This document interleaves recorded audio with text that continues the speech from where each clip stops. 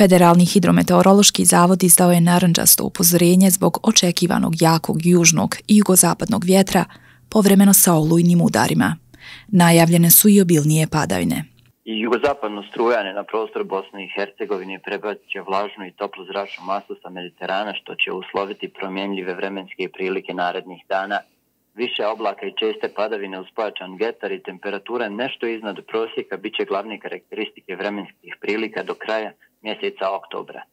Uslijed takvih sinoptičkih situacija nad prostor Bosne i Hercegovine, atmosfera će biti dosta turbulentna pa donosi i određene rizike kada su u pitanju vremenske nepogode.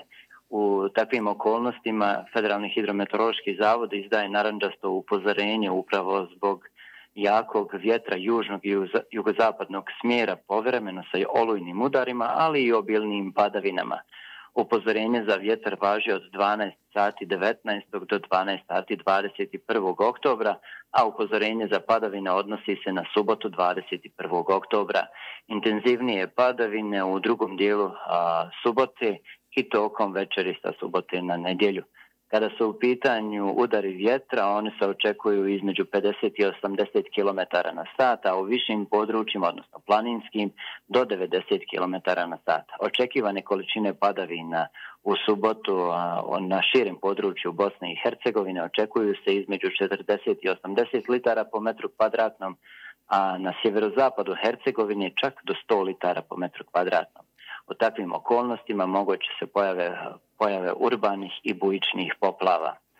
Tako da moramo obratiti pažnju narednih nekoliko dana i prilagoditi se tim opasnim meteorološkim pojavama kako bismo rizike sveli na minimum, zaštitili svoju imovinu, ali i živote.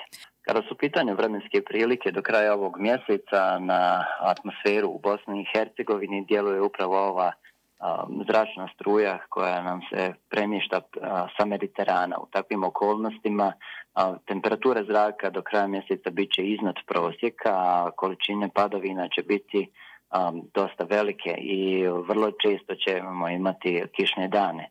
Međutim, ono što treba naglasiti jeste da skoro do kraja cijelog ovog mjeseca, do kraja očekuju se i nešto jači udari vjetra, tako da nakon dugog stabilnijeg perioda sa dosta sunca, jesen će pokazati pravu sliku, barem kada su u pitanju količine padavina, ali i vjetar.